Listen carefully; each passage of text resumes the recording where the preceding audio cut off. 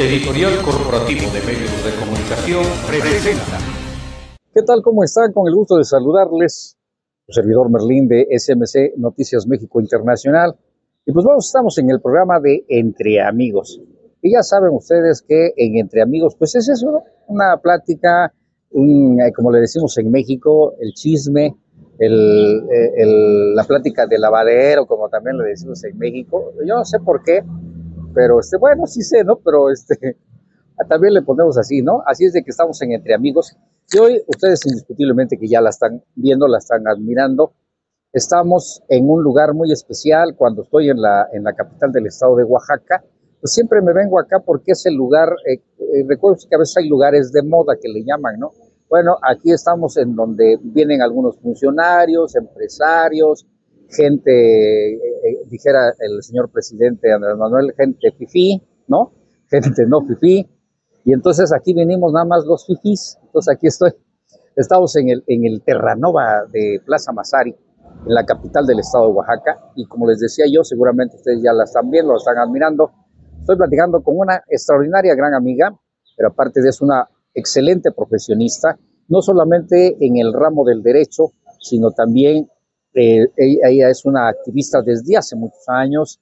Ella no solamente es activista en el ámbito, pues no nada más también social, sino cultural sobre todo. Sí, ella no sabe usted cómo ha luchado por la cuestión del rescate de la verdadera cocina tradicional este, y de muchos otros temas más. Pero así es que hoy tengo el honor de platicar con ella. Le robé un poco de su tiempo porque siempre anda de arriba para abajo, ¿no? Y este, pues bueno, ella es la licenciada Sara Vargas, ¿sí? Y obviamente que ya ella le dirá su nombre completo, porque así siempre les digo, aunque yo los conozco, pero siempre para el auditorio es de ellos mismos que luego pueden decir, está inventando un nombre. No, ¿sí? En lo que mi querido amigo motociclista, pues bueno, ahí va y eh, ojalá que llegue, ¿no? Pero bueno, así es de que Sarita, bienvenida aquí Entre Amigos, vamos a echar chisme, así es de que ¿Qué me puede decir? ¿Qué me puede contar? ¿Qué me puede chismear? Y en este asunto, pues bueno, ya estamos en septiembre, en el que todo mundo se siente mexicano y se acuerda que es mexicano, que ya mero se manda a hacer una camisa verde, blanco y colorado, y que carga su bandera. Pero les digo que después del 17 de septiembre ya se acuerdan que México, ¿para qué? No? Pero bueno, a ver, cuénteme, Sarita, el programa es de usted y aquí entre cuates, ¿qué me tiene que comentar? Pues muchas gracias, licenciado Cornelio Merlín, a SMC Noticias México.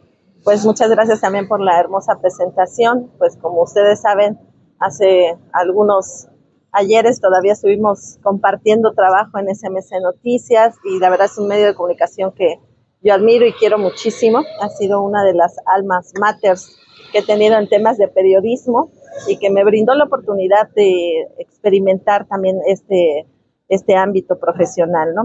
Y pues sí, mi nombre es Sara Georgina Vargas Juárez, ya de 12 años, cumplí apenas el pasado marzo como activista.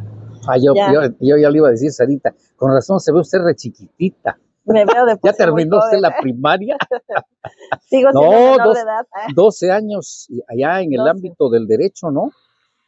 Pues, se dicen rápido, pero caray. Son 12. Son 12 años que empecé primero como activista, o sea, en el tema del activismo. Ajá. Antes, este, antes de que inclusive eh, terminara yo una de mis carreras, que es la licenciatura en Administración de Empresas, ya posterior estudié en otra escuela eh, el tema de Derecho. Me tocó todavía el tema de la pandemia, todavía terminando de estudiar, ¿no? O sea, me tocó esas situaciones, pero ya veníamos de, de la lucha también eh, en contra de la violencia de género, en contra de la violencia hacia las mujeres, pues en el tema del ámbito también político, y pues nos fuimos como la vida nos llevó a pulirnos en varias cosas, que pues al final del día no me, no me puedo catalogar como una excelente profesionista en ese tema, porque la verdad todo se va este, actualizando y hay muchas cosas que, que, todavía nos falta por aprender y pues gracias a Dios tenemos también muchas compañeras y compañeros abogados a los cuales les mando un fuerte abrazo, que siguen siendo mis maestros, siguen siendo mis maestros y siempre procuro tener la humildad de reconocer, ¿no? Eh, pues sí, 12 años eh, en el activismo. Empezamos eh, justamente como yo creo que muchas mujeres empiezan, con el tema de cuando nos pasa algo en lo particular, de una forma de hacer una catarsis, ¿no? De una forma de ayudar a otras mujeres. me acuerdo que hay un personaje político, una mujer personaje político, que bueno, ya ahorita ya no, ya no tengo su amistad, pero me quedan su, su experiencia y sus conocimientos que también este, yo lo sigo aplaudiendo. Y ella en algún momento me dijo, hay que dar pláticas, ¿no? Hay que ayudar a las compañeras, hay que, este, eh, pues empujar estos temas, ¿no? Y como todas las mujeres que están totalmente en un núcleo familiar de ama de casa, me daba muchísimo temor este, hacerlo, porque yo decía, ¿cómo puedo yo eh, decir algo cuando yo también experimento experimenté también eso, ¿no? Pero eso también nos ayuda a muchas mujeres a hacer, como les digo, una catarsis, a, fortalecernos, a curarnos y a volvernos a reconocer como mujeres, ¿no? Y pues empezamos a dar muchas pláticas, eh, empezamos a dar asesorías, hasta inclusive eh, lo fuimos rescatando en las colonias, hicimos como estos manuales de qué hacer en caso de un tema de violencia, qué hacer en caso que pidas una patrulla, cómo este, debes pedir que se levante un acta y cosas así que normalmente pues cuando pasa un incidente de violencia pues se nos cierra el mundo como a todas las víctimas, pero que debemos saberlo, ¿no? Eh, me pasaba a veces cosas muy básicas que yo normalmente las agarraba yo siempre como un ejemplo y cuando íbamos a las colonias y les decíamos, fíjense que si tienen un incidente de violencia intrafamiliar, eh, una violencia de un hombre hacia una mujer, ¿no? Y llaman una, este, una patrulla, este, tienen siempre que recordar que es un tema de violencia y no es un tema de escándalo en vía pública, porque eso determina mucho de lo que va a pasar después, ¿no? Entonces, pequeños detalles como esos son cosas que las mujeres no saben en su mayoría y pues que uno piensa que las autoridades eh, y que además de eso la policía está eh, capacitada para tener ese tipo de cosas. Sin embargo, no pasa eso. Y bueno, son cosas que fuimos externando, fuimos trabajando muchos años. También me tocó recorrer este, las 13 agencias de Oaxaca, ¿no? Eh, me tocó recorrer las colonias, las colonias más este, conurbadas de acá, las que están más marginadas, aún dentro del núcleo de la capital, que pareciera que todo está bien, porque es una capital que fluye mucho dinero. Tenemos zonas muy marginadas, todavía en la capital del estado. Y nos tocó todavía recorrerlo junto con otro equipo de trabajo que teníamos. Y conocimos muchas cosas de acerca de nuestra capital y acerca también de las necesidades de las mujeres. Eso es un camino que dejé hace tres años aproximadamente. Y de todas maneras seguía yo trabajando a la par el tema de la cultura de Oaxaca, que al ser oaxaqueña, pues yo desde, no sé, creo que desde que tengo uso de razón, ha sido mi pasión por mi estado y el cariño y el, el amor hacia mi estado, hacia mi pequeña patria que es Oaxaca. Y de ahí el, también el reconocimiento hacia las mujeres, principalmente a las mujeres que son invisibilizadas, ¿no? Entonces, si en algo encontré porque en algún momento viví en una de las agencias que todavía es de sistemas normativos indígenas. Eh, si algo admiraba yo eh, cuando vivía yo ahí, era la fuerza de las mujeres al trabajar, al sacar adelante a, la familia. Sí, claro. ¿no? Este, me tocó una comunidad que hacía tortillas, que bajaba al mercado, al mercado a vender tortillas, que desde las 2 de la mañana ya estaban en el molino y terminaban su jornada hasta las 7 de la noche, ¿no? Preparando ya lo demás para el otro día. Y me tocó ver esa situación. En algún momento competí para el tema de, la agencia porque sí era como mi anhelo darles un, reconocimiento, pero además un tipo de vida más honorable a las cocineras tradicionales, a las tortilleras. Claro. Porque la verdad, su jornada laboral es muy extensa y les, decía, eh, invisibilizadas, ¿no? Porque al final del día todos los profesionistas, todas las personas que han salido adelante, vienen de la casa donde la que estaba siempre pendiente de ellos y pendientes de tener comida y pendientes de que todo funcionara es una mujer. Claro. ¿No? Entonces, toda esta invisibilización nos arrojaba a nombrarlas a pedir algo, ¿no? En aquel entonces eh, me acuerdo que tenía yo también mucho la intención de hacer convenios para que las compañeras pudieran terminar su, su educación, porque aunque hay programas de gobierno federal en los cuales pueden terminar la educación por los horarios de trabajo, les es imposible. Y se encontraban luego con estos temas de las escuelas de no poder apoyar a sus hijos, ¿no? También otra de las cosas, me tocó estar muchos años en comités de madres y padres de familia. Eh, eso también da la otra perspectiva, ¿no? De que además este, hacen las mujeres un cierto tipo de política social en la cual ellas trabajan por los comités, trabajan por las escuelas, trabajan por las iglesias, trabajan por la comunidad pero hasta ahí las catalogan como para tener un servicio público, ¿no? Político, porque de ahí es, eh, no importa lo bueno que hiciste o si gestionaste obras o si aprendiste a hacer diferentes cosas administrativas de administración pública, porque al final del día no te van a permitir ascender a una, a una autoridad porque eres mujer, ¿no? O porque simplemente no estás para los ojos de las demás personas, principalmente ¿por qué no decirlo?, de un patriarcado, no estás catalogada y no estás preparada, ¿no? Exacto. Sin embargo, las mujeres pues se han preparado de muchas formas y han sabido sortear cosas. O sea, en los comités siempre hay mamás que tienen que hacer demandas, tienen que hacer denuncias, tienen que gestionar recursos, tienen que encargarse de obras sin saber nada del tema y tienen que hacer, por ejemplo, auditorías con las obras de las escuelas. Entonces, se han preparado como han podido y lo han hecho muy bien. Y, hay, digo, y hay pruebas contundentes, como decía usted, Cesarita, en relación a que cuando han presidido algún comité, muchos han de pensar, ah, pues sí, hombre, fue presidenta del comité de la escuela, porque a veces así se habla peyorativamente, ¿no? Ah, sí, está ahí de presidenta en la escuela. Pero, digo, el solo hecho simplemente de manejar una responsabilidad cómo ha quedado precedente de que cuando lo maneja una mujer hay cambios verdaderamente sustanciales, ¿no? Y digo, no es hablar mal de, uno en su género como hombre, pero desafortunadamente también hay muchos casos en que lo han manejado hombres y es cuando vienen muchos detallitos ahí digo, lo hablemos claro, ¿no? También de repente falta billete y todo, ¿no?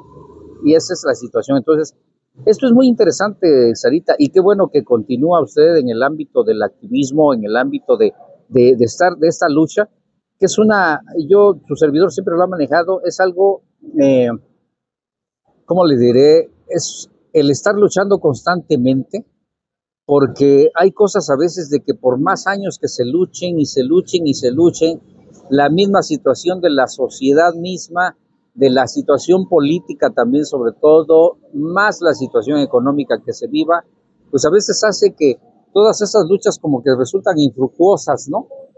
Pero sin embargo, pues allí se sigue, ¿no? En este término del activismo, Sarita, actualmente es cómo, cómo, cómo va usted manejando, qué se está haciendo, qué está usted haciendo, ¿no?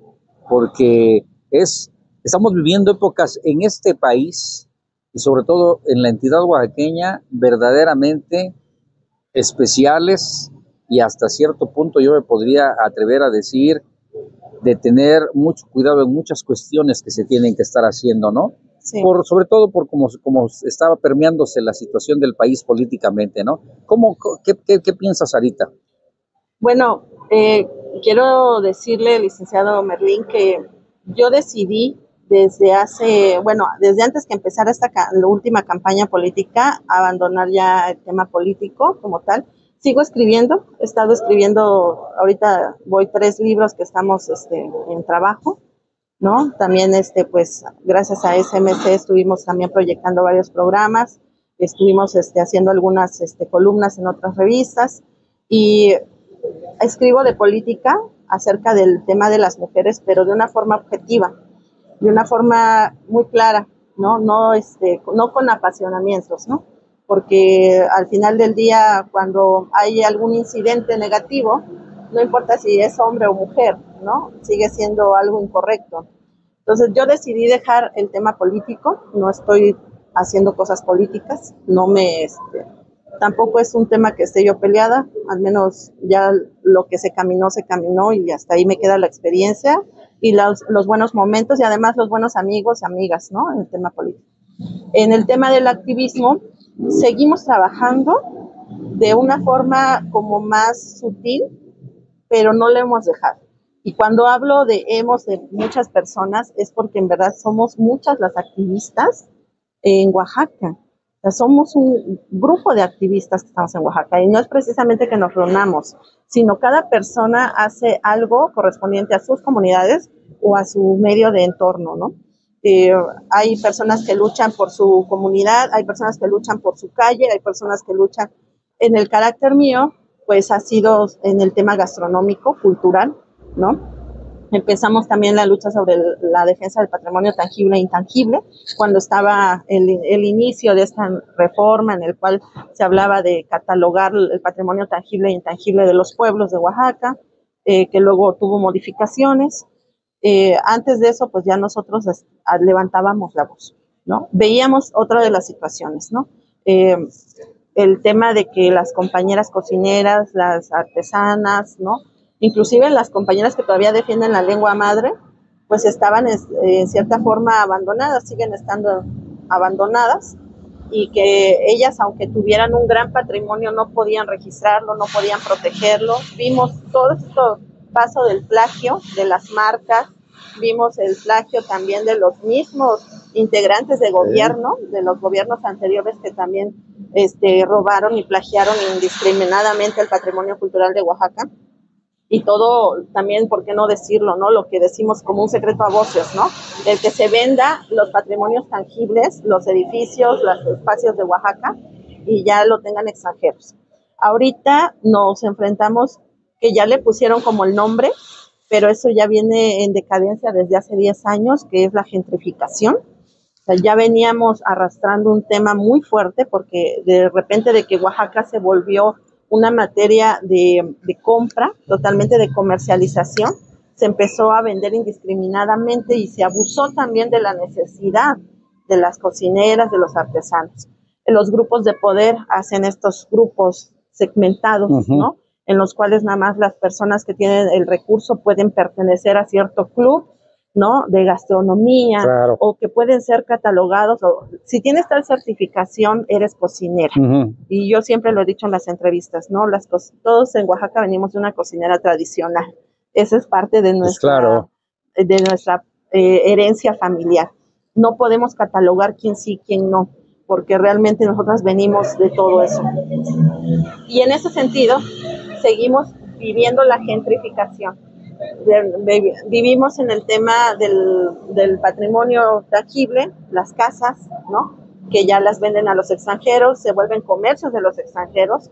Y pues, para no hacerla larga, como dice usted, ahorita hemos llegado a tal punto que hay este, guías de turistas extranjeros, que traen los grupos extranjeros, y que ahora resulta que conocen ¿no? la cultura de Oaxaca de tal punto que ya tienen sus agencias, ¿no? Y, o que luego cuentan historias que ni son, ¿no? Pero ellos según son guías de turistas, ¿no? Y los verdaderos oaxaqueños, las verdaderas oaxaqueñas quedaron segmentadas porque no tuvieron para acceder a los permisos, a la capacitación, a la legalidad, ¿no? Y entonces vamos haciendo a un lado al pueblo. Entonces, el trabajo del activismo sigue, seguimos levantando la voz, nos seguimos quejando, porque creo que debemos hacerlo, es parte de, lo, de nuestra responsabilidad. Yo lo he dicho, creo que uno de mis temores es que en algún momento alguno de mi, de mi familia tenga que pagar derechos por utilizar un traje regional de Oaxaca o tenga que pagar derechos por estar en un espacio público de Oaxaca, porque ya le pertenece a, una empresa o ya le pertenece a un sector. Lo hemos vivido en el tema del arte, Usted sabe bien que estoy colaborando con la maestra Rocío Morales, que es también este, pues en un tema cultural muy importante acá en Oaxaca, y hemos visto que ya no hay espacios para los artistas, ¿no? Ya no hay estos... Eh, para los verdaderos artistas, ¿no? Exactamente, sí. Se ha comprado inclusive mucho de la, de la música, de las obras este, del interior del país, uh, inclusive del extranjero, pero a los artistas de Oaxaca siguen estando abandonados en una situación económica muy crítica, sí. ¿no? Eh, también seguimos con el tema de la gastronomía, ¿no? La gran, este, llamémoslo así, una gran prostitución en el tema de llamar cocineras tradicionales o decir cocina tradicional, ahora también ya cocina ancestral, cuando ni siquiera hay un concepto claro cuál es el ancestral, cuál es el tradicional, porque eh, nos encontramos los hoteles, nos encontramos los restaurantes del centro histórico que dan una gastronomía totalmente ajena a los pueblos de Oaxaca, exacto. Este, ya muy estilizada y pues simulando que esa es la comida oaxaqueña, ¿no? Eh, y entonces cada una de nuestras compañeras activistas, su servidora, pues seguimos trabajando, seguimos trabajando en lo que podemos hacer, ¿no? Eh, tal vez sin recursos, pero con toda la intención de que Oaxaca sea exactamente genuina, como debe ser, ¿no? Sabemos que hay un gran, un gran monstruo que no podemos detener, ¿no? El tema del consumismo, de la comercialización indiscriminada del Estado de Oaxaca en todos sus aspectos, pero nosotros en lo que corresponde a nosotras como activistas seguimos levantando la voz, ¿no? Eso es lo bueno, Sarita, eso, eso, es, eso es lo bueno y lo interesante, porque sí, como decía usted hace un momento, de repente surgen organizaciones, incluso surgen agrupaciones eh, creadas por el mismo gobierno en el cual trabajan este tipo de asuntos eh, verdaderamente tradicionales, pero ya los manejan como un tipo marketing, ¿no? Estaba yo viendo por allá y no es, y, yo pensaba que lo había, que se había creado en Oaxaca y no, se creó, me parece que en el Estado de México, no tengo ahorita el dato correcto, pero estaba yo viendo que hay una, eh, no recuerdo qué nombre tiene, pero es en relación a las cocineras tradicionales. Y están manejando un evento que sí va a haber en Oaxaca, me parece que en el mes de noviembre, en el cual van a venir cocineras tradicionales de todo el país e incluso de Sudamérica y de Centroamérica. Bueno, Aquí el detalle que veía yo es que, pues bueno, de repente salen las fotos que la gran cocinera de Guanajuato y que la cocinera tradicional que es. Entonces yo dije, bueno, pues ya agarraron la cocina tradicional como un marketing comercial, ¿no? E incluso también político. Y dije yo, bueno, pues tenían que meterse en Oaxaca. ¿Por qué? Porque su servidor lo ha comentado desde hace mucho tiempo. Oaxaca es pluricultural, multiétnico, ¿sí? Y bueno, Desafortunadamente, bajo sus excepciones, pues desafortunadamente los gobiernos han convertido a la pobreza, a la cultura, a la gastronomía y demás en un marketing político, ¿no? Desafortunadamente, sin apoyarlo, porque también lo he comentado ¿eh? y lo he dicho muy claro. Uno de los aspectos que menos apoyo ha tenido para precisamente florecer en los verdaderos artistas, sean culturales y también cuestiones tradicionales, incluyendo la lengua materna, pues es los que menos recursos reciben de gobierno. Y como dice usted, quienes florecen allí, quienes están en friega, son los activistas, ¿no? Que a veces también nos los desaparecen precisamente porque ahí andan hablando, alzando la voz, ¿no? Sí. El platicar sobre estos temas ahorita nos llevaría mucho tiempo. Esperemos que hagamos uno otro programa sin otros más. Y este, anda usted en friega, pero bueno, ya me robaré otro tiempecito. Y también que pues esté yo eh, yo creo que ya a partir de octubre a lo mejor ya voy a estar más tiempo en Oaxaca, si es que no me corre, este, en la cual es muy interesante tocar estos temas, ¿por qué? Porque vienen cuestiones muy interesantes en Oaxaca, ¿sí? Sobre todo en materia tradicional, en rescates de la lengua materna, en fin. Entonces, esto es muy interesante. Y sobre todo esto, Hace un tiempecito tuve la oportunidad de manejar con usted algunos programas con verdaderamente cocineras tradicionales, con verdaderas cocineras tradicionales, ¿sí? Y yo creo que es muy interesante que como medios de comunicación, y yo invito a los demás medios de comunicación a que tengamos que hacer, sobre todo los oaxaqueños, tenemos que hacer esto como medio nos corresponde, ¿no? O sea, yo tuve el privilegio de comer desayunar, comer y cenar al lado de mi señor padre que está en el reino de los cielos, en el piso junto a un comal, haciendo doña Susanita la tortilla calientita, el frijol en olla de barro, ¿sí? El chocolatito en olla de barro. caray, ¿no? No es lo mismo ese cafecito, no, sabe igual que en Oxxo, ¿no? Ahí le mando la factura a Oxxo, ¿eh? Así es de que, finalmente, ¿Qué puede usted comentarle a nuestro auditorio sobre ese activismo y sobre todo invitarles a que la tradición, la costumbre de un pueblo, de un estado, de un país, nunca hay que olvidar. Coménteles usted y pues quedamos en un reserva para la próxima ocasión. Sí, dijo algo muy importante cuando inició la entrevista, el tema del mes patrio, ¿no? Todos pues nos apasionamos, ¿no? Por el tema de nuestro país. Ya como ya también la selección mexicana no es un tema apasionante, ya es eso, o sea, todo es viva México y todo el tema. Pero exactamente México pues es también nuestra, nuestro estado, nuestra patria.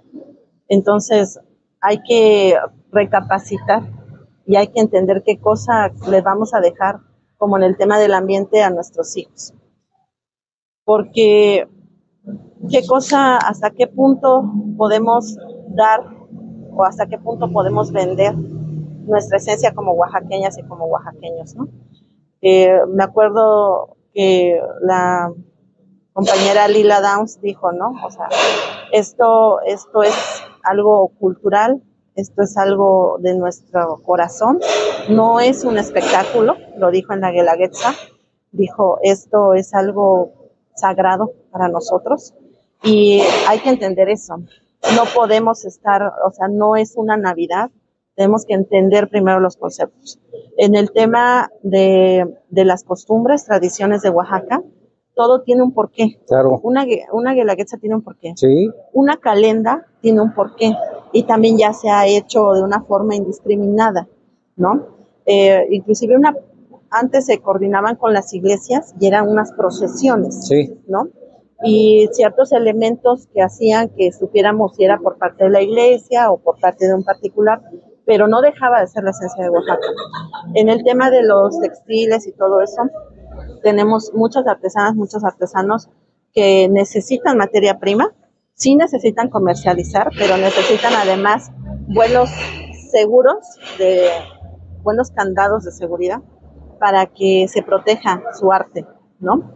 Y en el tema de la gastronomía, pues nos hemos encontrado con un montón de charlatanes, de personas que se hacen nombrar, que se dicen soy tal, sí que es tan fácil agarrar y decir soy cocinera y soy esto y soy aquello, cuando ni siquiera tienen el mínimo respeto al tema de la gastronomía, no entienden lo que es en verdad una cocinera tradicional, que es un arte, es una toda una este una forma de hacer una fusión espiritual también, porque las cocineras tradicionales no ocupan medidores, no ocupan balanzas, todo decían ellas, mi mano sabe la medida, es totalmente una ceremonia en la cual ellas expresan e intencionan su comida.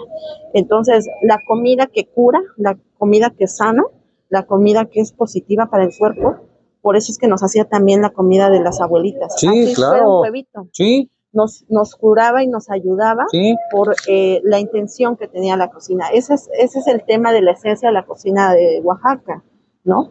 No es que si tiene 30 chiles un mole, no es que si lo hacen con carne de, pato o no.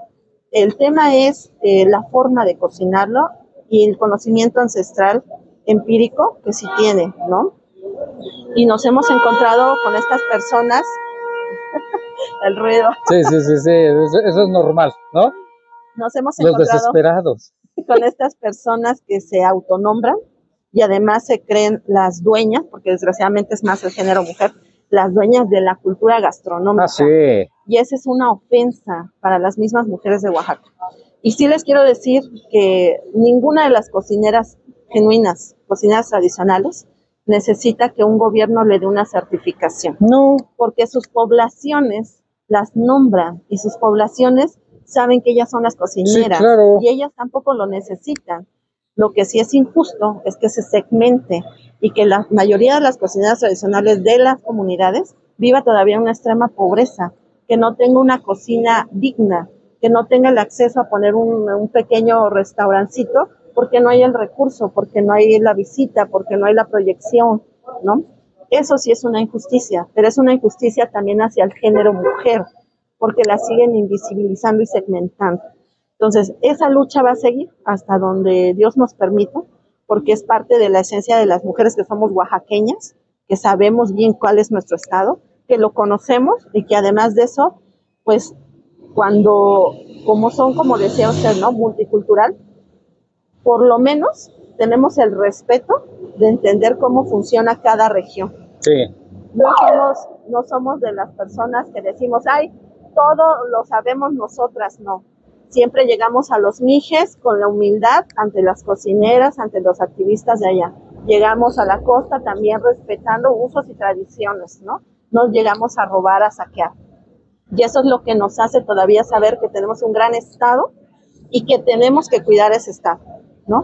Eh, otra de las cosas que también ha estado de una forma muy preocupante es el uso indiscriminado de las, mm, de las festividades, ¿no? El poner elementos que no son de Oaxaca, el ocupar situaciones que no son de Oaxaca, y pues bueno, cada gobierno tiene un tema de responsabilidad, no me voy a meter en esos temas políticos, pero yo creo que estamos en un punto en el que debe haber un alto y decir qué está pasando con nuestro Estado, qué está pasando culturalmente con nuestro Estado, porque al final del día, nosotras como oaxaqueñas y oaxaqueños, si no cuidamos nuestra cultura, pues vamos a desaparecer, como muchas culturas lo han hecho. Desafortunadamente, ¿no?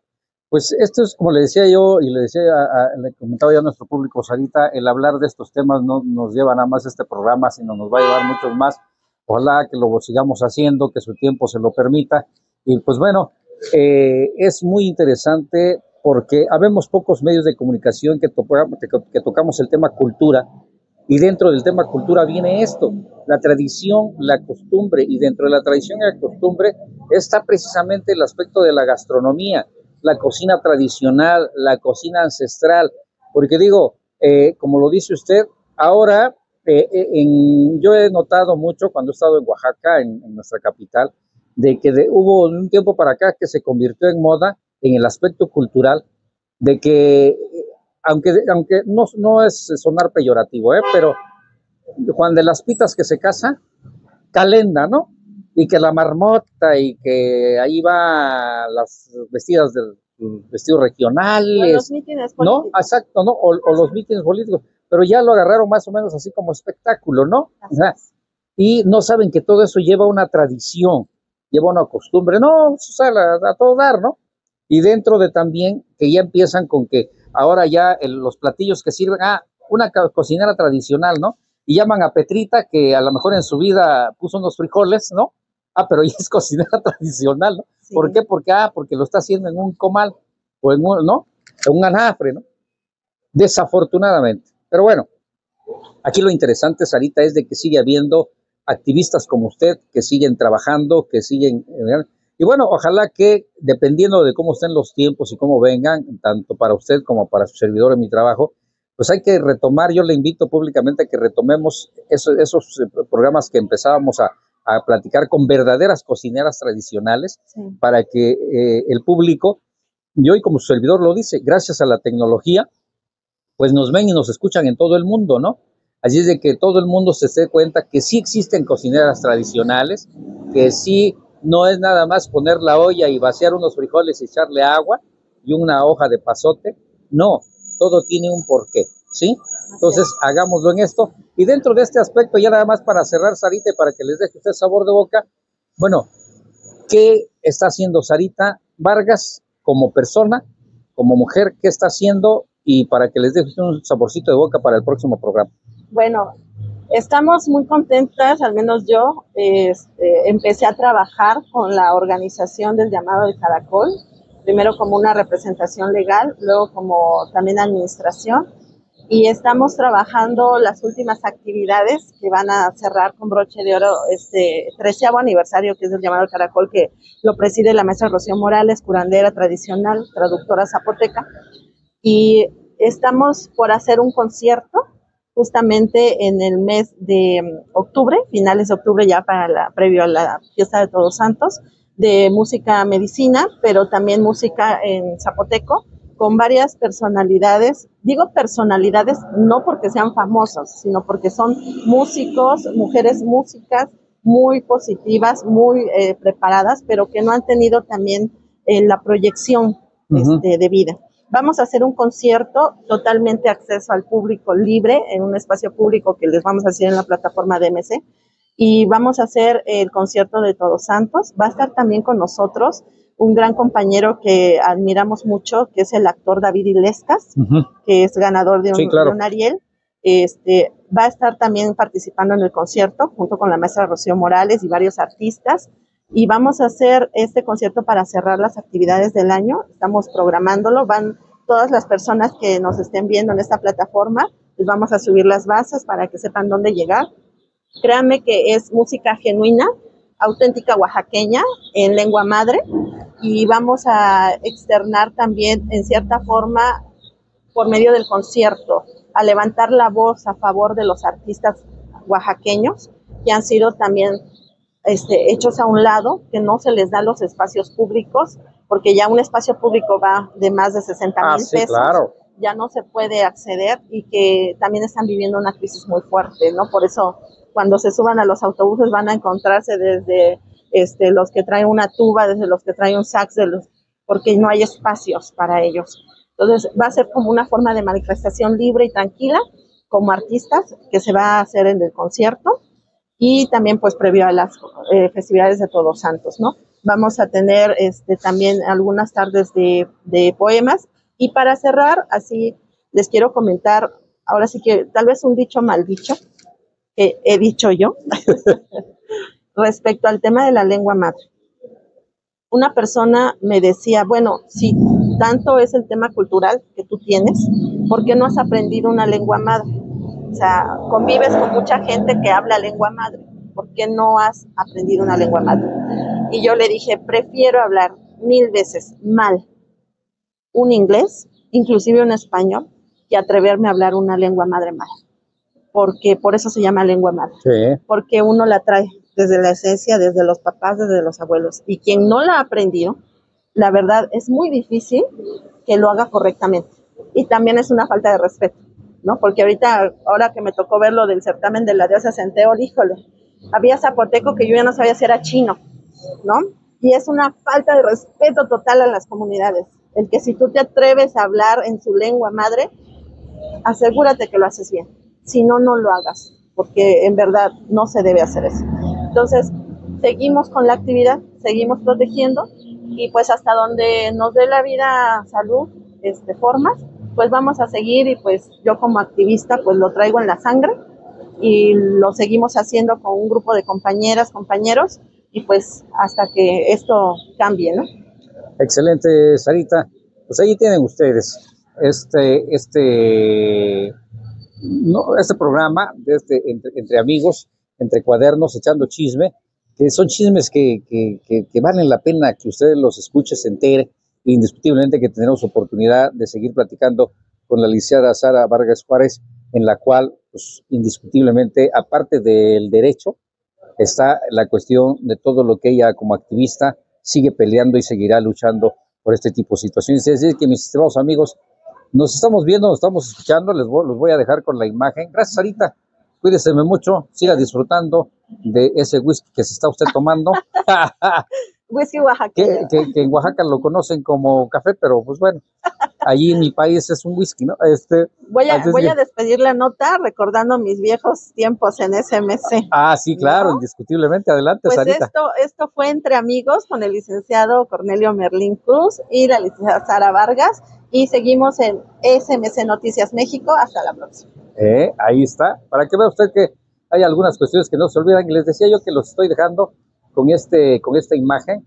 Vea usted, ahí está como ya eh, se siente el fervor patrio en todas las tiritas que existen por allá rumbo al cielo. Nos estamos viendo, nos estamos escuchando en el próximo Entre Amigos, porque como su servidor lo dice, gracias a la tecnología, nos ven y nos escuchan en todo el mundo. Hasta, hasta la próxima.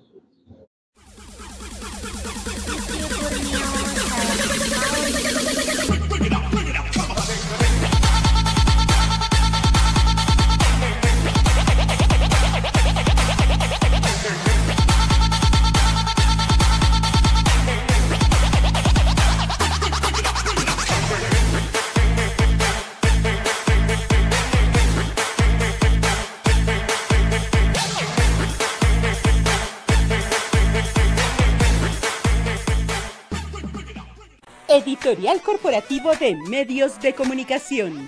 Somos lo que tú y lo que a ti te importa. Por eso somos. Somos Argentina. Somos Bolivia. Somos Brasil. Somos Colombia. Somos Estados Unidos. Somos Honduras. Somos México. Somos República Dominicana. Somos Venezuela. Somos para ti. Síguenos. Los sonidos más cautivadores provienen de la voz humana. Training Time. Leonor Garrini. Producciones. Información. Innovación. Recreación. Alegría. Deportes. Música. Contenidos interactivos. La radio visual que vino a cambiar tu manera de comunicar. Conéctate con lapuracrema.net. Roncamos porque podemos. AIR es mundial.